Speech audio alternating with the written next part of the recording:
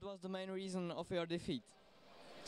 Yeah, I think that we missed uh, too many chances.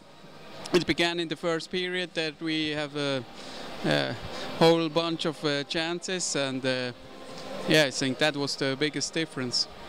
It was a very close game, wasn't it?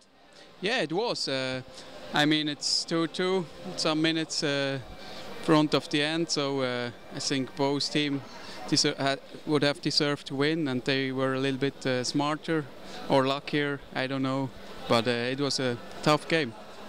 Uh, do you think that it is a problem to play two difficult matches in two days? No, uh, not at all. We are used uh, to that from Switzerland. We we have a lot of uh, double rounds there. We play Saturday, Sunday, so uh, it's no problem for us. Uh, if you want to play the semi-final, you have to win tomorrow. Do you know what you have to improve?